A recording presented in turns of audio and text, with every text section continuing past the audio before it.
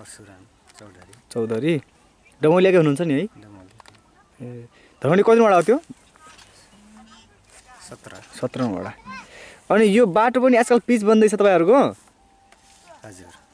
के हुँदैछ भन्नु न लामो गएर गरिरहेछन् काम। ए अनि पहिलाको डमौलिया र आजकल डमौलिया कति फरक छ?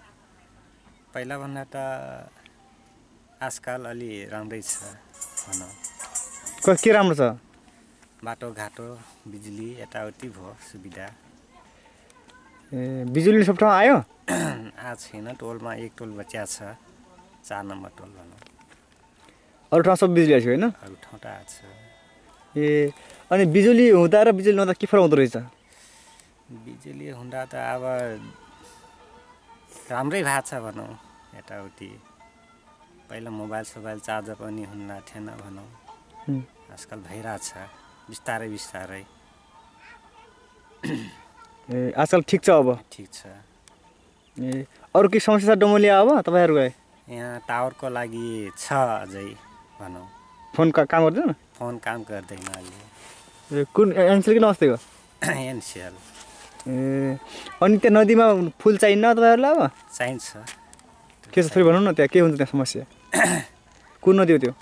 शिवगङ्गा। के हुन्छ बर्खामा थोरै भन्नुहोस् त? बर्खामा अब बाढी आउँछ त्यहाँ धनगढी अब नगरपालिका त ढङ्गरी लाग्यो। अब यताउति काम परेपछि जानुपर्छ। बर्खाको समयमा त अब पुल त चाहियो उता जानु।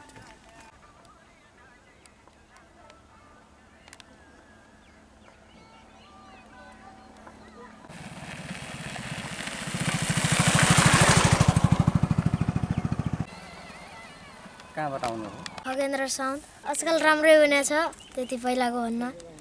पहिला त्यस्तै थियो। बाढी आएपछि पुरा बाटोलाई बगाइदिन्थ्यो।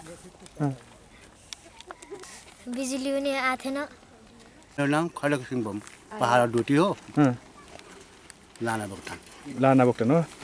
अनि पहिलाको र आजकल फरक कति फरक छ यो डमौलिया क्षेत्र? नै सर धेरै छ। फरक भन्ने कुरो पहिला भन्दा अहिले। लगभग अब धेरै राम्रो छ पहिला भन्दा। पहिला के के थियो हजुर? के थियो? बिजुली थिएन बाटो खास थिएन। अब अहिलेको गर्नलाई अलिक अप्ठ्यारो हुन्थ्यो।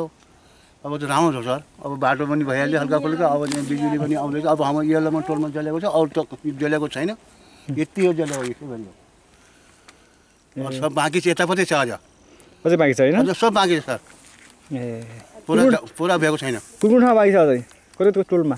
अब यो आधा कलिगले यो दुई नम्बर टोल यो टोल त दुई हो सर। अब यो काम गर्न बेगारी काम गर्ने पहिला यहाँको हुनाले टोल छट्याएको। अब दुई नम्बर टोल बाँकी छ तिन नम्बर टोल त्यो बाँकी छ यहाँनिर यो यो बाँकी छ।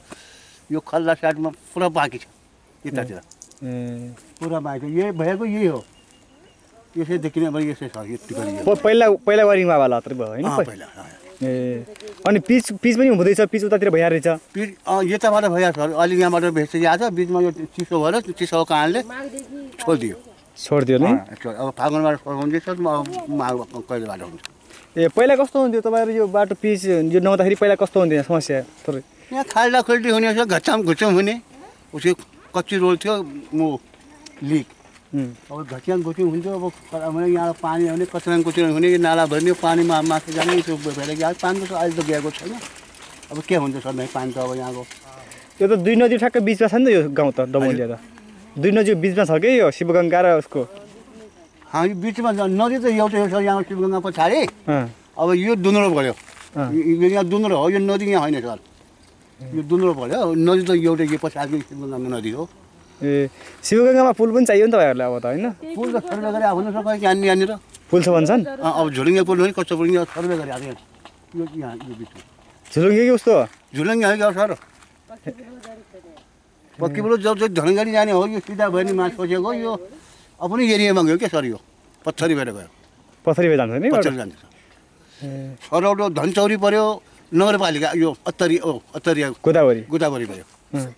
अब नि यो धुचन सरौटो यो त्यहाँ पत्थरी यो हाम्रो यो यो उर्मा गाविस पऱ्यो धनगढी पऱ्यो आजकल अब धनगढी पऱ्यो सर यो त्यो कारणले सर अब न एरियाबाट गऱ्यो ए बाटो अब अब पहिला त ठिक छ बाटो धर्न जानु लाग्यो अँ अब ठिक छ सर अब ठिक छ ए बाटोमा पिच बन्नु रहेछ मैले त्यहाँ देखेँ अहिले हजुर उहाँ पिच हुन लाग्छ उतातिर हुन लागिरहेको छ बिचमा रहेको छ उताबाट पनि ल्याएको छ यताबाट पनि यहाँ केही अलिक यताबाट पनि अलिकै छ यो दोकानबाट छोडेको छ यहाँ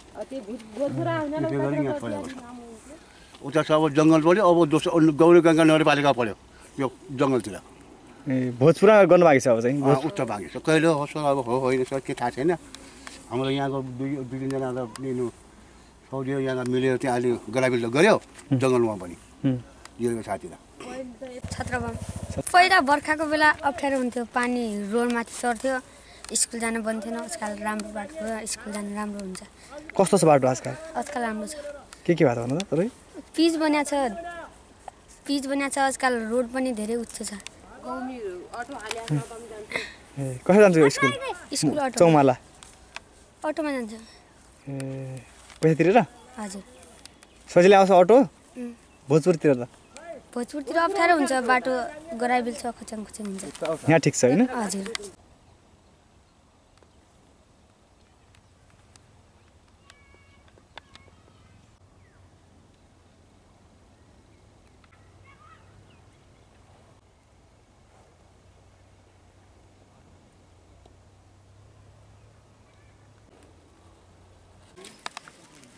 जानकारीमा आएको छैन।